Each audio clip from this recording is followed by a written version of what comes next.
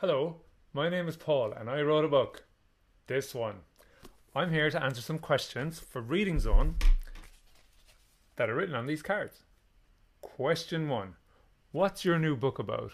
Well, my new book is about a boy called Stick Boy. This guy and his friends, these guys, and his other friends, these guys. But maybe they're not his friends. We don't know yet. We'll see at the beginning of the story. Inside the book, it's all about what he does in the town he lives in called Little Town. Uh, Little Town is a town just like every other town, really. Question number two Did you make your main character a stick boy so he would be easier to draw? That is a cheeky question. The answer is yes. Yes, I did. It's a lot easier to draw a stick figure than it is to draw a real person. But that's okay. There's cool things about being a stick figure. Uh, you can tell what he's thinking. He's pretty happy there. But if we find another picture in here, no, he looks a bit worried. Hmm, bit worried there.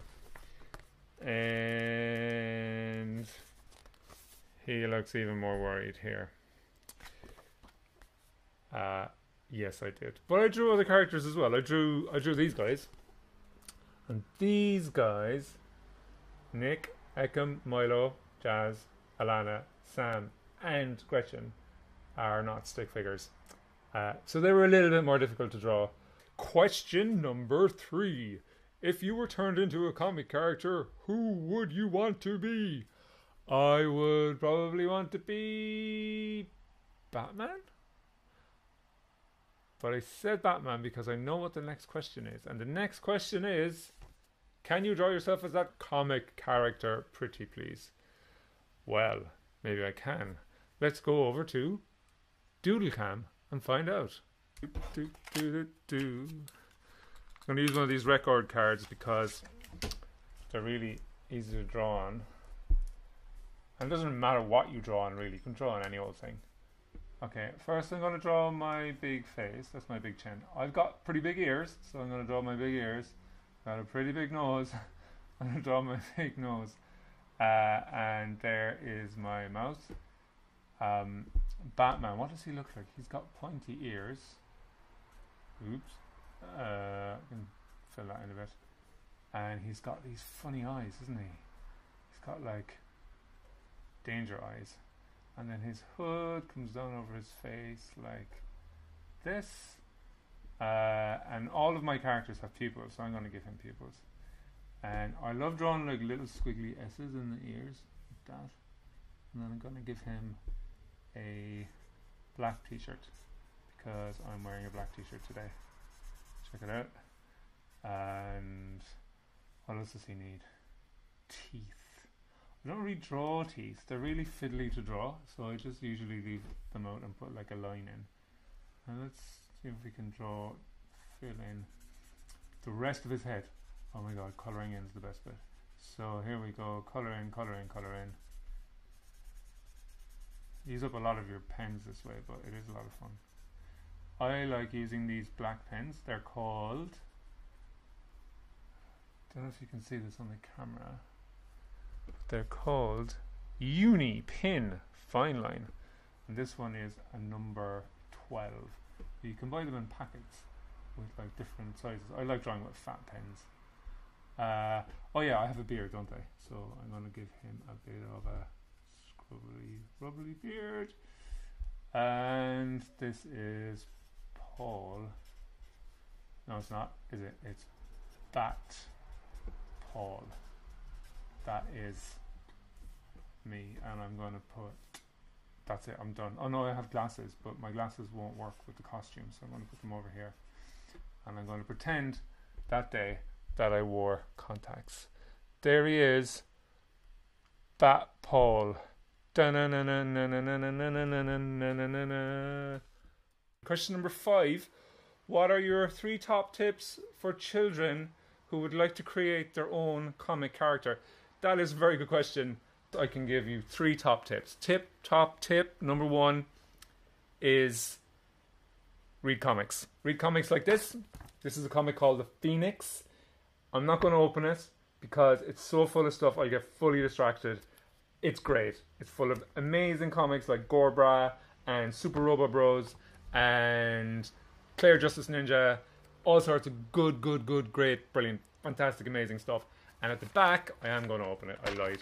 At the back, there is a thing here from a guy. Can you see that? Can you see that? I'll bring it closer. A guy called Rob Diaz. This week is going to be showing you how to draw different body shapes.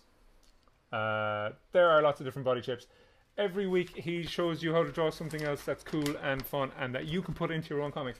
If you go on stickboy.tv, there, there it is, stickboy.tv, you can find more uh, drawing tips and a guide on how to draw a stick.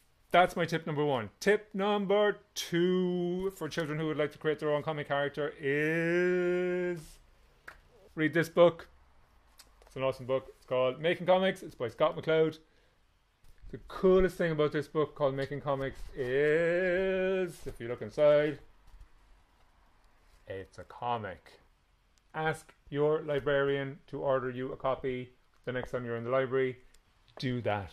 The other one is like watch movies and play games and fill your head up with characters that other people have made because characters have a lot in common. Like they all they all kind of want something. They're all looking for something, and usually they have something that's slightly different or maybe a lot different about them that helps them to find the thing they're looking for. Um, so if you if you think about your comic character in that way, like what's their special thing? So Stick's thing is he's a stick boy. Spider-Man's thing is he's he's been bitten by a spider. Batman's thing is well he's kind of clever and rich and he's got cool toys.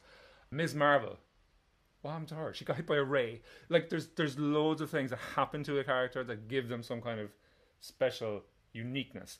Think about what your character's uniqueness is. It could be anything. Fourth tip of three is draw lots of comic book characters. Draw them all the time. Draw them on uh, bits of paper, bits of cereal boxes, old receipts on bits of books you don't like oh, or even bits of books you do like. I mean, most books are pretty good. That's the top tip, top, top tip. Let's see if there are any more questions. I'm going to go back to question number one. What's your new book about? My new book is about a boy called Stick who lives in a world just like ours, except he's a stick boy and everybody else is kind of like us, except, well, you know, they're pictures. But they are like us and he's not like us. And it's about how he figures things out check it out. Go to the library uh, to get this book or to get the other book that I mentioned, um, Making Comics, or any other book. The, the library's full of books. And one of the most wonderful things about libraries is if you ask them to get you a book that they don't have, they, they probably will. Most libraries will. Well, they'll try their very best to do it anyway. Um, so yes, look out for Stick, read it. Also, have a look at the other amazing videos on the Reading Zone website and on their YouTube channel. Thank you for watching. My name is Paul. I wrote this book.